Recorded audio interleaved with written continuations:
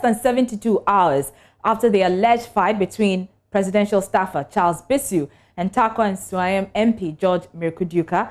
Pictures of the former with his face swollen have been circulating on social media.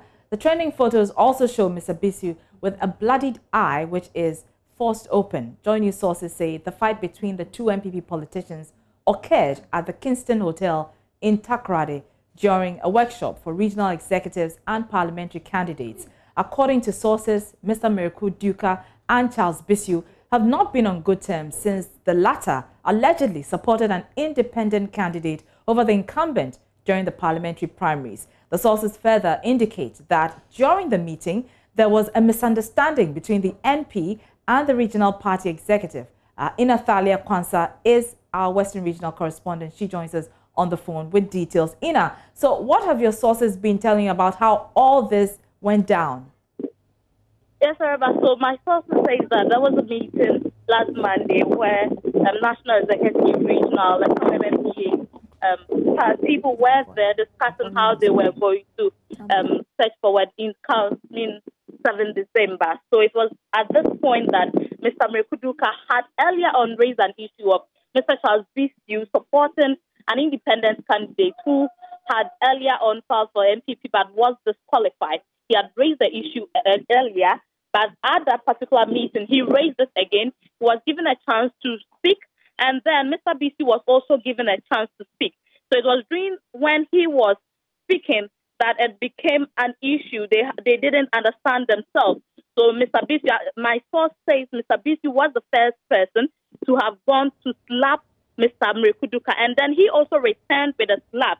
Uh, it it went on for some time, and he heated um, fight between the two of them. They didn't know what happened, but before they realized that one of the fingers, the right fingers of Mr. Mireku-Duker, had been bitten off by Mr. Bissue. However, I have uh, have an access to an audio. In the audio, Mr. Bissue was saying earlier in the audio that he didn't do that. But when in the audio, the person went on to say that he has spoken to Mr. Mireku-Duker, who had confirmed that he indeed bit off his finger. He said, well, he also have some injuries and he has also been to the hospital, but he, he doesn't want to come out with any of these information to the public.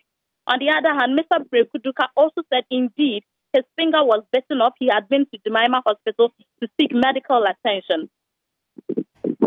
Uh, what is the party leadership in the region, especially saying about this incident? But they have told both um, Mr. Mireku-Duker and Mr. Bissue not to comment on this since this may tarnish their reputation, especially when we are in the election year. They've spoken to them. So for now, when you try to get to speak to any of the leadership of the NPP in the Western region, they are tight-lipped. They do not want to comment about this issue. I have seen a picture of Mr. Mireku-Duker, and he looks very fine, except that you see a bandage on his finger, which is alleged to have been bitten by Mr. Bissue. Mm. And we un also understand that, you know, the Council of Elders uh, has asked both men not to speak to the issue. In essence, they shouldn't be washing their uh, dirty linen in public. Is, is that the case? Sure, but they've asked them not to speak about it. I have personally tried calling um, some executives, and when you call them, most of them have declined. Most of them are even saying they were not there at Kingston when it happened. So it confirms that they have been advised not to speak on the issue. All right, Ina Thalia Kwansa, thank you so much uh, for those details. And uh, that story is making the rounds in the media, on social media and traditional media as well. I head on to myjoyonline.com. There's more news there.